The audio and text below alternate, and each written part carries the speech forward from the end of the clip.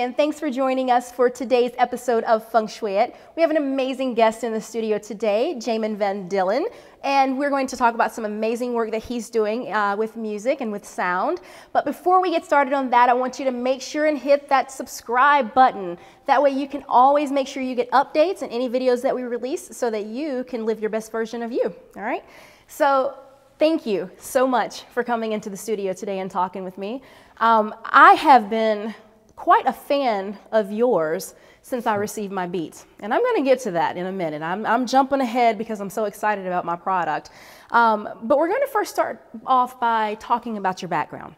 Um, because I feel like your background really sets the tone for what it is that you do now, and it kind of explains how you got to this point in your career. So welcome, and let's get started. Yeah, thank you so much. Absolutely. So tell me about your background. How in the world did you get started in music in the first place? Like, where did music come into your life, or was there ever a time in your life you didn't know music? Um, yeah, that's a great question. I, I think it, for me, it really, it really, started when I was at a very young age. My, my father was a musician. He was an incredible musician. He could pick up any instrument, play anything. So there was always music around me. And then by the time I kind of, I can really clearly remember my first my first experience with music where it like really struck me was actually when I was about five years old. I purchased a CD of uh, Johnny Mathis. I don't, I don't, know if you know who that is, but he's an older artist, and he the music he sings is about it's typically like sad and about heartbreak. And I remember listening to it at five years old, alone, and crying and just really like connecting emotionally and and feeling that resonance from the music. And then with my father around, I was, you know, just kind of surrounded by it. I, I would kind of mimic my father and he'd play something and I'd play it on the piano and just would pick up stuff. But I, I never really had the desire to play music like he did until I was older. But I always look up to my father. I, I loved him so much and he would, he'd come home and I'd always want to hang out with him, but he would come home and he had a stressful job and he'd go straight into playing music and when that was like his release. So I was like bummed, but I like respected that he did that, and so I kind of started to create this love for music. And then I just I enjoyed also like I loved rock. I love you know Michael Jackson, funk. Like my brother started DJing when he was about 12 years old. Oh wow! And that's when I got you know introduced to soul music, funk, hip hop, uh, rock, dance. So I, I just had this kind of like very eclectic taste at a very young age and I just always would so connect with um, the emotion behind it. And so, you know, later on, when I was about 12, my parents divorced, and it was really traumatic for me. Um, and as I got older, I hardly saw my father at all, and I slowly started to get into playing the drums. And so by the time I was 17, I was like just started playing it, and then my father, um, he he had throat cancer and then later on, I found out that it like transferred to his lungs and he was doing really bad. And so one day I was in school and I got this phone call and I just, I knew something was wrong. Like it was just very strange. And it was a phone call from my mother. And um, she, you know, like the teacher said, like, you know, pack up your stuff, you're going to be going home. So I, I just like, my heart was like pounding and I, I walked out to the front of my school and I see my, my older brother and my mother in my brother's car. And so we drove to go see my father. And that was the last time I ever saw him because he, he died right in front of us. And um, yeah, it was just, it was just like, it was really hard for me. But the way after that I kind of dealt with, with the emotions was to play music because I could kind of channel things through. And it was like, like my way of connecting with my father. So I started playing drums and I was at the time in high school and kind of went from this transition from going from the popular crowd to like listening to heavy metal and like you know screw the system type thing so i could get out this angst. And so i just kept playing drums and then uh, my brother was always into hip hop and he started producing music on, on, a, on an mpc with these pads and I was so much into the instrumentation piece of it where I, I looked at that, I looked down upon that and I was like, ah, it's cool, but I was like, whatever, right. like I want to play a real I'm instrument. I'm a real musician, right? Yeah, so I would I would kind of poo-poo it a little bit. Um, but then he he kind of slowly transitioned from the MPC, the the actual like unit to computer software and that's when like one time I went over to my brother's house and I was like just blown away by it, and it like really sucked me in, and I, I just I loved it. Like uh, the first song I wrote was a, a, a techno song, and um, and it was great because I can make music whenever I wanted to, and I didn't I didn't have to like the band. I'd have a a jealous girlfriend that was like, "You always go to band practice," you know, and then and then I would have I'd be breaking up a fist fight between the guitar player and the bass player, and I was right. like, I was like, the computer doesn't argue with me or anything. This is amazing. I can just And so- make music. Yeah, so I could just make music, and so I I I just I loved it, and it just like it was just like my life. So I just started playing music and doing all these fun things, and never really thought anything of it. It was just like kind of a hobby, and um, you know, I had I had an old high school friend that was really into music, and we it was kind of our way of bonding, and I just yeah, I loved it. And then slowly, I started getting these opportunities to just I'd be in the right place at the right time, and I, I would be at a restaurant, and Warren G was there, and the I knew the owner, and the owner was like, "Yeah, do you want to sit next to him?" And I'm sitting next to Warren G eating a plate of lasagna. Wow. So just things like that kept happening, and so slowly, you know, it was like I would befriend them, and I would, you know, give them my CDs or my music, and before I knew it, you know, I'm like on a tour bus with Wu Tang, and just Oh wow. crazy stuff was was transpiring, and I had opportunities, and um, you know, it just kind of just started really unfolding like organically, and all the while, you know, like I, I I was doing it, but there's still like this kind of like empty piece inside of me that I was like kind of trying to fill with like, yeah, I'm I'm cool now, like you know, my manager connected a deal, and I'm writing a song for Britney Spears now and Nicki Minaj, but it was like there was still this kind of like egoic piece, and it just was like there was some emptiness. And the deeper I got into it, you know, I get a call up from a, you know, like a big name rapper, and I show up to the studio, and it's like, like literally like, like I feel like I'm on gang territory because there's like literally a gang there, Right, right. and I'm like really uncomfortable, and they're there, and they're like, they're like. They're like, where are you from, blood? Like, they're punking me. Right. I'm, I'm like, I was like, I I'm just like, I'm from, I'm like from Orange County, California, like white collar. I'm like, uh, like I'm like scared I just want to make music. yeah, and so you know, it was just funny. So I, I'd, I'd put on my music, then all of a sudden they're like, they're like, "Damn, son," and they like would give me props, and it was cool. But it would, I'd be surrounded by drugs and like gang activity, and they'd be degrading women and just stuff, and it just, it's like, it just kind of starts to consume you the more you're around it, and so it just was like, it was hard on my soul, you know, and so I just, I didn't like it, and I, I was getting more into my spiritual side and, and the personal development piece, which really helped free me to kind of see past that and then, you know, kind of just trust and like, all right, like I built this all up and now I have to like walk away into something completely new that like I'm like scared shitless. Like it's like you you know something your whole life and now you're like going into something where people, you know, think you're weird or it's frowned upon or society thinks it's, you know, not right. Right. So I just made this decision to move to LA, to move from LA and kind of like walk away. And I had this other deal that was set that would like really take care of me for the rest of my life. And and it was with good people too, but I, I just something wasn't in alignment for me. So it was like I put all that behind, and um, and I moved to North Carolina and I started. Um, I, I lived in this loft right by this river, and I would be going out to the river and I'd be doing these meditations, and it was just strange. Like like I, I would like literally like lay like there would be a rock submerged in the river, and I'd lay on the rock and like dip my head back, and it was almost like I was being baptized. There's like it's it's hard to describe, but as I started doing that.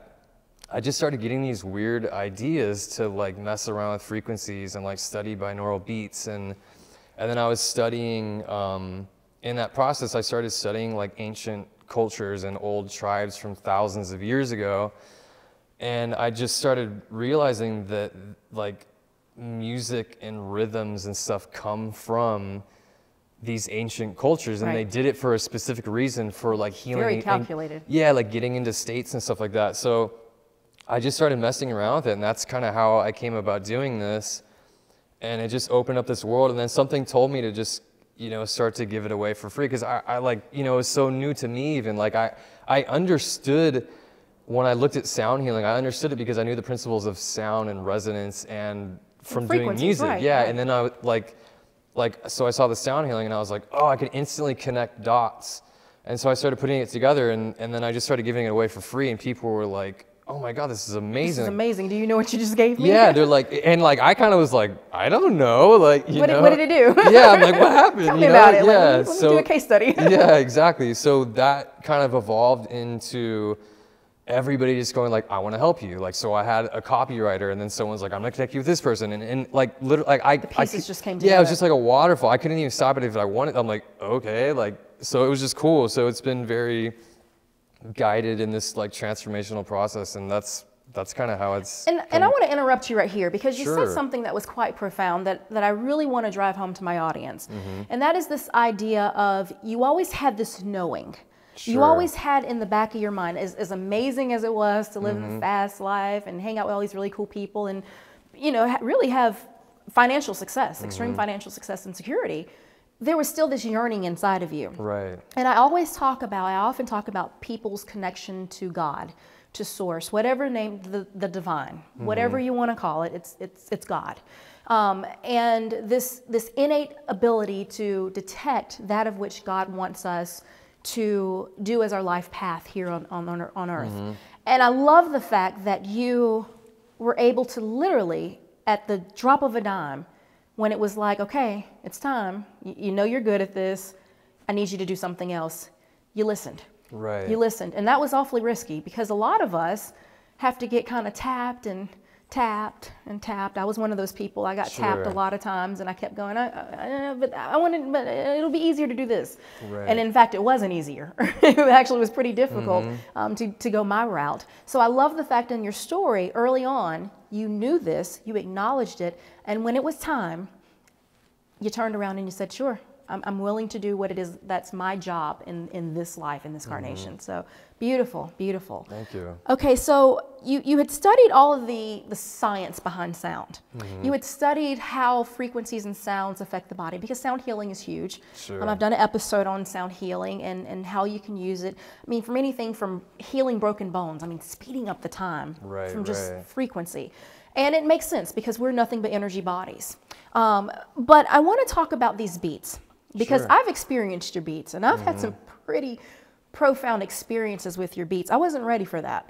Um, I- Sorry. I, mean, sorry. Sorry. not sorry, right? Yeah, right. Um, you know, I, I knew it would be an, an amazing opportunity. I knew Mm-hmm. it would be something certainly that I would have in my toolbox for meditation because I'm Mm-hmm. huge about prayer and I'm huge about meditation. I feel like that's that's what keeps you grounded. That's what keeps you focused on your on the right path. Mm-hmm. But these beats are pretty amazing. Um, I want to talk about what these beats are first of all in a, in a very um, basic level because this is a lot of science behind it Right. i mean so let's just talk about it on baseline what are the beats because this is what we call them the beats right like i mean it's it's sound alchemy in Sure. Mm-hmm. essence but but the beats is is these are these are beats that that i had created for myself and i'm going to let you talk about it i'm not going to Mm-hmm. Talk about it i'm so excited about it. i'm taking over you telling me about the beats but um, let's start off with what are these beats Okay, cool. So basically, it's it's uh, a lot of people are familiar with binaural beats. So it's a derivative of that, but then I've added other stuff. So I guess we'll first start with the explanation of binaural beats. That that was essentially created in the like mid 1800s by a Prussian physicist, and it's it's but it goes back even further where you know the ancients knew that different rhythmic chanting tibetan bells Right. um, uh, different instruments would create different states so essentially you know like a low chanting humming tibetan bells ringing this oscillation would entrain the brain into different states so, so we have you know, different brainwave states. So you have the delta, you have theta, alpha, beta, and gamma. And so it's a different array of, you know, very like, like delta is a very deep sleep. And then theta um, is like a very deep meditation, like almost like a hypnosis Right. trance-like state. Um, and then the alpha is, it's still relaxed, but it's, it's not as deep. And then uh, the beta is kind of like a pretty focused, like it's kind of where like a lot of our analytical, like the you know the the crazy mind I like to call it is like you're thinking all these different thoughts, and then gamma is like super hyper f- and f- focused and really you know high cognitive focus on basically what you're doing, and it's also a super consciousness too, where it's, it's interesting the the delta state um, is a state where you can get like amazing awareness and download, but you're like almost uh, you're asleep or like almost asleep essentially. Whereas the gamma state, you can get the same awarenesses, but you're in like a super, you know, heightened focused state. So it's it's interesting. It's it's very it's very interesting. So so knowing that the different beats are then created, like binaural beats are created to put one into that state. So it's like an assisted meditational, you know, guide to help you get into the state faster, essentially. And the way it works is super interesting. So going back to when this uh, the Prussian physicist discovered it, what he discovered was when you take uh, one frequency and one like so when you think of mono or stereo with with sound equipment, stereo is left and right. Right. So we have the ability to mix left and right. So you put like let's say you put 100 hertz in one left ear and then 105 in the other. You hear that, you hear the two frequencies, but your brain interprets a third tone. So the third tone is the is the difference between the two. So if you have 105 in here, then 100 in the left The ear. space in between. Yeah, and so it's five hertz. Right. So so that difference between the two will then dictate what what brainwave state that it's going to entrain your brain to. So that's kind of the basis of binaural beats and The most- simple version. Yeah. So, so Which is still pretty complex, right? I mean, Absolutely, yeah. So, but and most people don't even know that. So, like, that's that's kind of that's what binaural beats do. So, like, if you were to just go and buy one, you would get something like that. And most people don't even know what they're getting. So then, what I did is I was like, all right, that's cool, but now I want to add in custom frequencies because what I did is is in my personal development training. I learned that we store a lot of our negative emotions in our body parts. So, doing research on um, Royal Raymond Rife, I learned that there's like each body part has a frequency. So I know the emotions that are tied to that frequency. So when someone fills out our our uh, product uh, questionnaire when they purchase it, they allude to the different things that they're going through, what they're struggling with. So I correlate that with like, okay, this is associated with this body part. So not only do they get the meditative binaural beat state, but then they're also able to work on what's happening for them specific. So it's like custom tailored, custom made to that person. It's kind of like what your doctor does when you say, um, I'm having a pain in my stomach.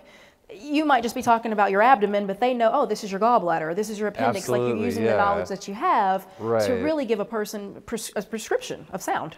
In Absolutely, essence. yeah. Right. Okay. So one of the questions I have about the beats is that, uh, of course, they're customized for whatever it is that I want to focus on Mm-hmm. in my meditation. Now, after I've passed through that period and Mm-hmm. I feel like I'm I'm kind of elevated and I'm okay with that issue and I've Mm-hmm. worked through it, are my beats still good?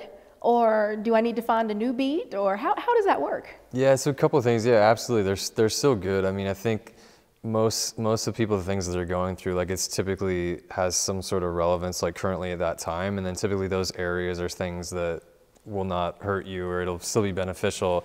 I think, yeah, definitely. If, if you've gone through and passed through it, it would be cool to like re up and kind of, you know, if, if you've like, oh, I wanted to create success and you have a ton of success with money, that's great. Still continue to use it because it's getting you in that state. Um, and then if there's other things that arise, obviously, as you go through levels, then yeah, I would just absolutely like work on getting a new one and getting something else that makes sense. in- And, and that was going to be my next question. Can I buy beats to work with at the same time that are working with various issues, or do I work with one beat at a time, reach a certain level, and then go to a different beat for a different issue?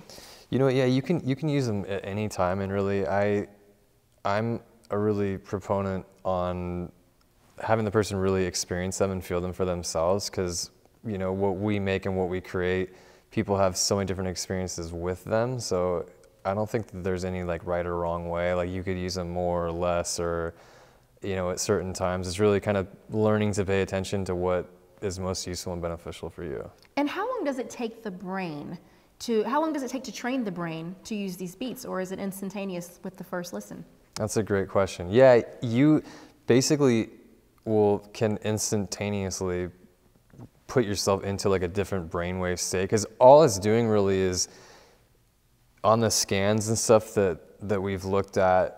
If someone comes in and they're really stressed out, their brainwave patterns are like really scattered, and so we can put anyone, you know, using listening to the beats and it automatically will start to change their brainwave states within five minutes. So in terms of the entraining, like long-term effects, it's just kind of like, you know, I mean, people are using them to meditate, right? So if, if you're meditating over a long period of time, like you've been meditating for a year every day or twice a day or something, then yeah, you're going to be able to go into those states a lot faster, Sure. if that makes sense. Yeah, yeah, okay. And uh, what's the difference between digitally synthesized sounds and, say, my Tibetan singing bowls? Because that's Sure. something that, that I often hear people that love the uh, instruments, and this is funny because this is actually a part of the story that you just told us about yourself. Um, you know, you have proponents that say, "No, I only want an instrument," and then other people say, "Why? When you got a synthesizer." So, so let's answer that for me. Yeah, that, that's a that's a, that's a I love this question. Um, kind of a long explanation, but if you look at the different like Tibetan bells, for instance, like when we talked about binaural beats and how one ear is tuned to a certain frequency, the other one, that's the same thing with like Tibetan bells. Like one of them is tuned to a frequency and one of them is a little bit off, so it creates that ringing. So essentially, the binaural beats are an emulation of that. Um, why use one or the other? obviously if you could take you know a bunch of tibetan bells and like singing bowls and like you know carry them everywhere because each one is tuned to a certain frequency Right. So this gives you the ability to have you know loads of frequencies like in your cell phone My 40 bells walking around. exactly yeah like you can't go to the airport and like oh i'm just chilling with my tibetan bells you know no big deal No, airport security would Yeah. have some issues probably. Totally. So there's that, and then also just because I know a lot of people are like, oh, well, it's like a digital thing, it's bad. The thing to look at is that just in music in general, like we listen to music where it's been played on a keyboard, and there's like music all the time, like trance music, meditation music, it's done with a keyboard or real instruments. And people feel this state where they're like, wow, like I feel moved. And the reason why is because um, sound that comes out of speakers, it's literally moving air, and so it moves your eardrum. So when someone says like, "Wow, that song really moved me," it's because it's, it's literally moving your eardrum. So every time you play a note or a chord on the piano, they're frequencies. So all we're doing is basically isolating those frequencies and putting them into a rhythmic pattern for someone to listen to. So it's it's you know it, it's not so much different than you listening to you know a song or something like that. Right. Now, as I told my audience before, I, I actually uh, have beats that I work with. Mm-hmm. And I have to tell you, you know, I, I filled out the questionnaire and I thought instantaneously I knew exactly what I wanted to work mm. with, right? Because I'm all into my meditation and, and I'm, I'm mm-hmm. very serious about this stuff. Sure. And so I sent you what I thought I actually wanted to work with, and I knew exactly what it mm-hmm. was. And what I actually ended up finding out was that it moved me to work in other areas of my life beyond that of which the beat was created. So what I'm saying is, is so if I were working on success, for for example, what I actually found is that the success may actually start giving me ideas. Um, of, of things that are still related to success, mm-hmm. but it was for about maybe um, personal knowledge, personal information. Mm. So it gave me more of a yearning of wanting to educate myself more, mm-hmm. which in terms would help me in success. But it didn't. It didn't happen in the way in which I was expecting. I was Sure. expecting it to be like, oh, I'm just going to come up with this amazing successful idea. Mm-hmm. But in fact, what I found my deficit, as I saw it, was I needed to do something in, in a particular area with education. And so I wanted to add that up a little bit, and I feel like in terms it was going to make me a more successful person. One of the things that I noticed with my beats is that I use them differently mm-hmm. according to what's going on in my day. So I have several times throughout the day that I meditate. Sometimes mm-hmm. it's once a day, sometimes it can be three times a day. Mm-hmm. I may decide to work with the exact same beat and listen to it maybe two or three times because I want my meditation session to be a little bit longer than the beat. Or I may decide to use multiple beats at one time. And so it's just really, I love the fact that I can use it however I'm led to mm-hmm. use it, and it's just listening to my own inner wisdom. So that's beautiful. I love that. All right, so you know I love your beats. I think these are amazing. They have certainly taken my meditative practice to a far greater state than I ever anticipated. So if other people want to purchase this product, how can we find? How can they find this out? How can they get their own set of beats? Okay, yeah, first off, thank you so much. I'm so glad it was so amazing for you. Uh, the way they find them is uh, they go to beatsalchemy.com, Okay. and uh, we have a couple other products on there too. And right now, we're actually doing um, uh, like a discounted rate, like a special price until we raise the price. And it, they're called, it's called binaural alchemy essentially. So they would go there, purchase it and fill out what's going on for them currently. And we, we do three customized beats. Um, and uh, yeah, that's pretty much it. All right. So what we'll do is we'll put all of your information on our website and you can find that at uh, fengshui-it.com. You'll find all of his contact information so that you too can get a copy of your beats for your meditation. All right. Well, thank you again for thank coming you. today, and I look forward to working with you in the future.